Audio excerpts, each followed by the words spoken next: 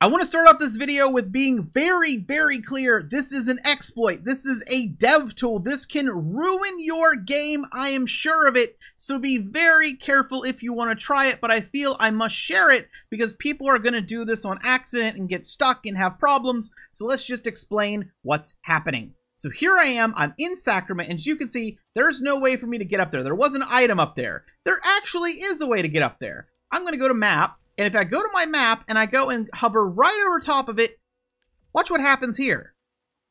I am now up there. How did I do that? Well, you see, if you're using a controller, you can open your map, pick any location you want, and then press on the left stick. Here's another spot in Sacrament, because I'm already in Sacrament, it loads faster.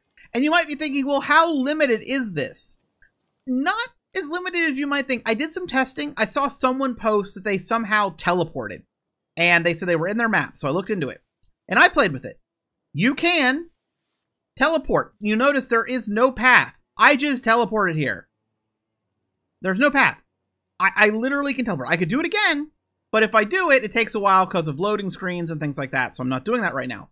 I also tested you can just skip entire quest segments. Like there was a quest up here. I just teleported to it. This is a problem, to put it bluntly. Um, so definitely, definitely don't do this if you're worried about messing up your save. You know, it, it it's something people are going to do on accident. It's too common a thing of pressing in your left stick for it not to happen on accident. So I felt I had to share. I had to let people know it, it's game breaking. Do it at your own risk.